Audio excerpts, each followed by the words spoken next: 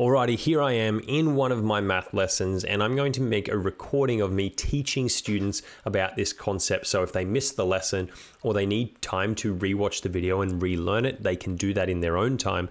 Here I am going through the content. They can see everything that I've written. I can use my cursor to gesture to certain parts of the question. And more importantly, they can see my face, so it really feels like I'm there teaching them in the moment if you want to learn how to make this kind of video, this video on YouTube is for you. I'm going to take you through how to download, install, and then set up OBS Studio in a very simple and straightforward way so that you can straight away today start recording videos like this yourself for your students so that they can learn even when you're not there in the room with them. Let's dive on in and get you started.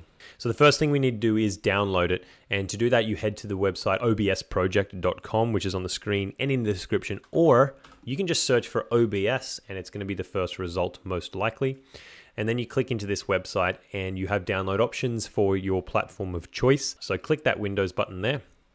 And then you can either save this file or you can open the file. It's just a download file, so I'm just going to click open.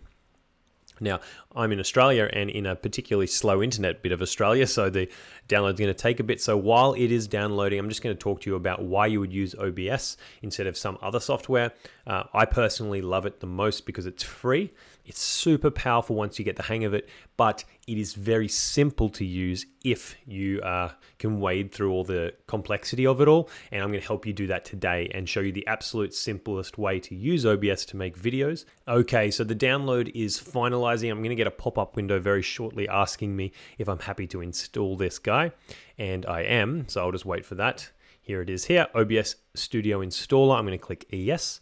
Now, if you saved your file rather than opening it, you're going to have to navigate to where you saved it and double click that file to open it. So here we are in the installation settings.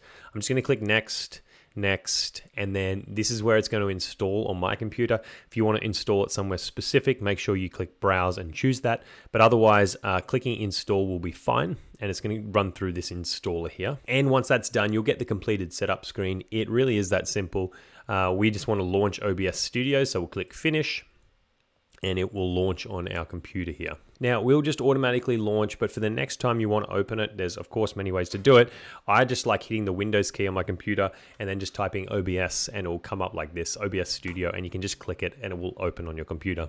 And here we are. Now, first things first, I want you to pump the brakes. Yes, if you've never used a program like this, it looks extremely overwhelming and extremely complicated, but I'm going to take you through the absolute basics and explain what's happening here so you're not too overwhelmed because it's a really powerful tool and it's going to make your videos awesome. So the first thing here is that we've got our settings. I recommend going to settings first and setting those up. So the main settings, yes, there are so many customizable options. We're gonna go through the absolute fundamental ones. I recommend first things first, you go to output and then you're gonna choose your recording path because when you've uploaded your recording or rather when you've finished your recording, it's gonna save it somewhere and you need to know where to find it. So click browse and then click it put it wherever you want. For example, on my desktop, I have a video folder and I've got a clips to edit or store folder. I'm going to just select that one and then click apply. And that's where they're going to be saved so I know where to find them. If you'd like, you can use the settings that I've got here. They're not super important. The main thing is that you know where that that's going to be going. Feel free to use these, uh, these settings if you'd like. In the audio section, you can change all these sorts of things, but it's really not that important. The main thing is that your microphone, if you're going to be using a microphone, that that's set up. I have many options here because I've got my headphones over here, which have a microphone attached to them. I've got the onboard computer microphone. I've got um, the webcam that I've got plugged in microphone, but the one I want is the Yeti stereo microphone. That's this guy here. So I'm going to select that. In video, you choose your uh, base resolution, your output resolution. I recommend that you keep them the same and then also choose the ones that are the same size as your computer. If you're not sure, a good fundamental one to go with is 1920 by 1080p. 1080p is HD and it's going to be a really good quality and a really good size for you. And they're the main three that I'm going to be looking at here. Um, as you can see, there are so many different ones and feel free to familiarize yourself. But if you want the absolute fundamentals to get us going, we need to know where to save our files. We need to know what microphone or audio input we're going to be using.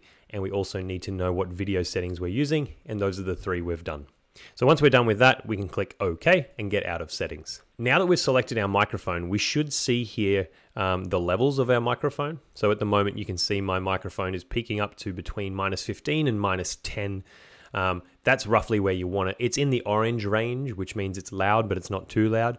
If I yelled, I'm not going to for the sake of your ears, but if I did yell, uh, it would head up into this red area here, which means it's peaking. So just make sure your levels are roughly there. Uh, to change that, you can just change uh, these guys here, this volume here. Now it's very quiet.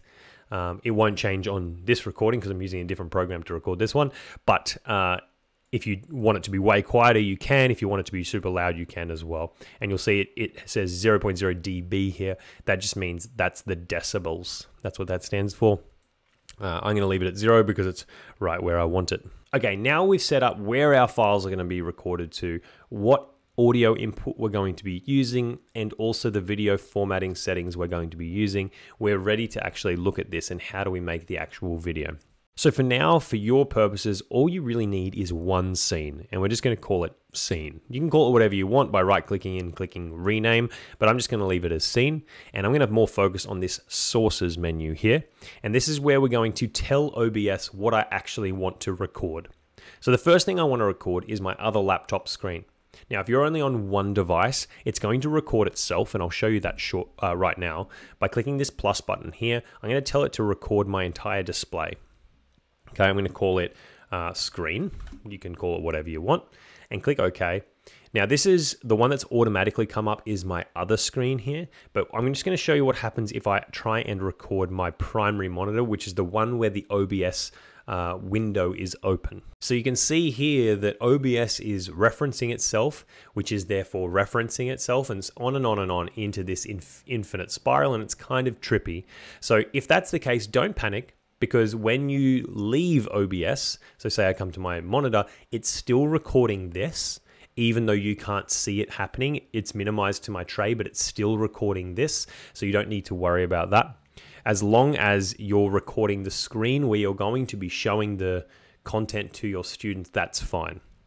Now, just so we don't have to keep looking at this, I'm going to click this settings or this source properties, and I'm going to change that to my laptop screen and click OK.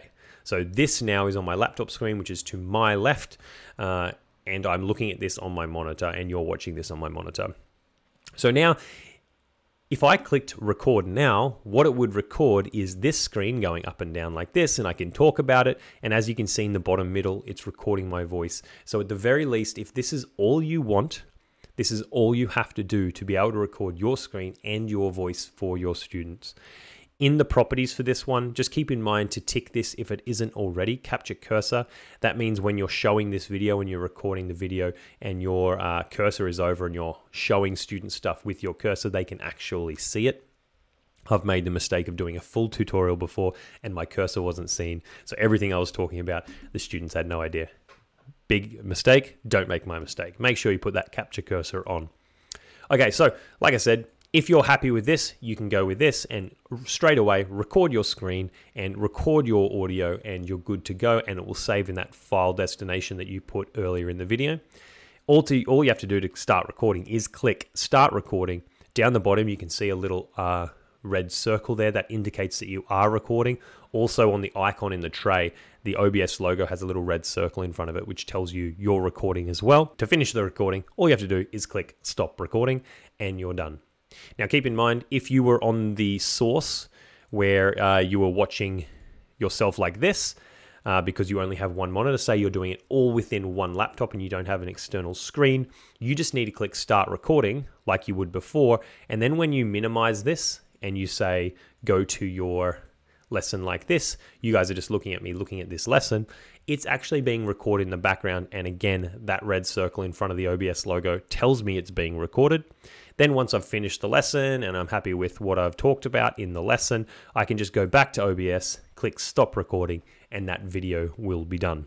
Okay, so I've put the lesson back on my laptop screen because I want to show you one more thing you can do with OBS. Actually, there's a couple more things, but this is one of them, is you can include a video capture device or your webcam. So if you have a built-in webcam in your laptop or you have a standalone webcam like I do, we can add that as a source in this sources section, just like we added our screen recording. Click OK. And it's going to default to this one. If you have multiple, you can click the drop down and select the one you want, but you've probably only got one. And I'm going to, instead of having the resolution as the built-in one, I'm going to change it to a custom one.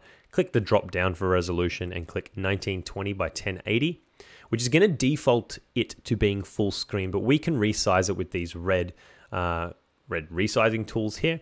So if I make that much smaller, I can resize myself, say, into the top left-hand corner or the bottom right-hand corner, wherever you want your face to be. So now as I go through the lesson, my face is overlaid onto the recording. And so as I gesture to things like, okay, guys, now make sure you have a go.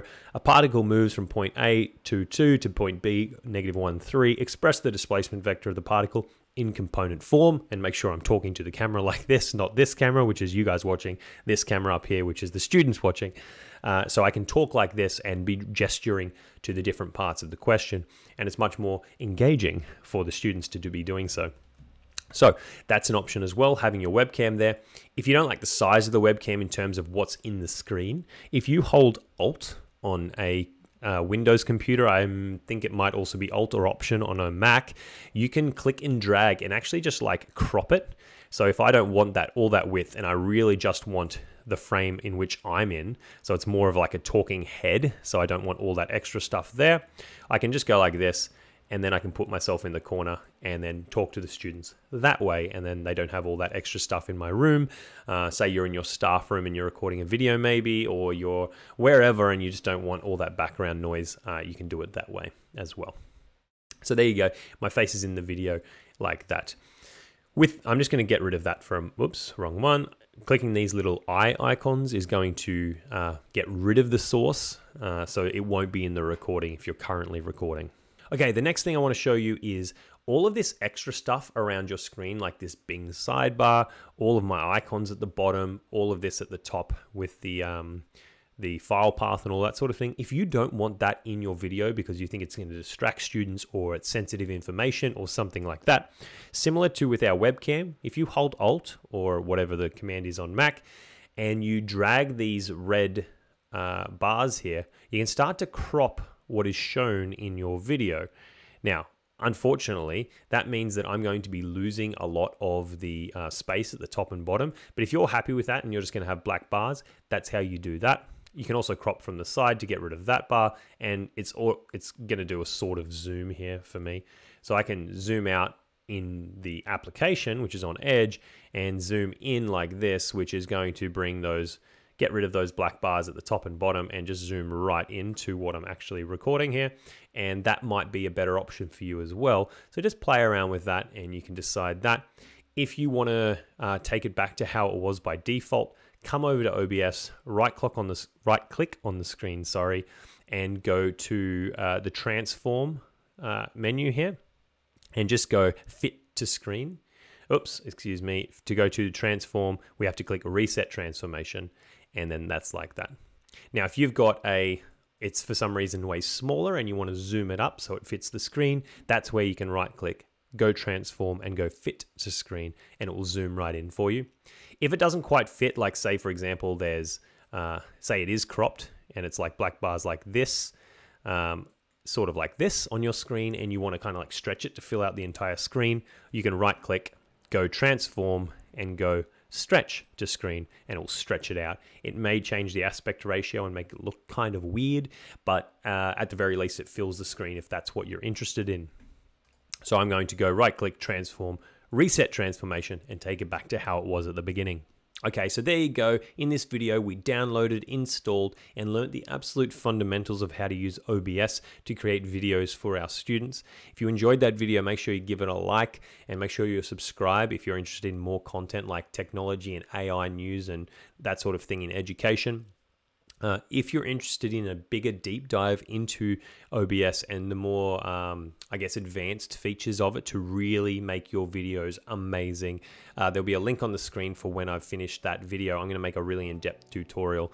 Uh, hopefully, this absolute fundamentals one helped you get off the ground running and you can create some videos for your students on your laptop or on your desktop PC.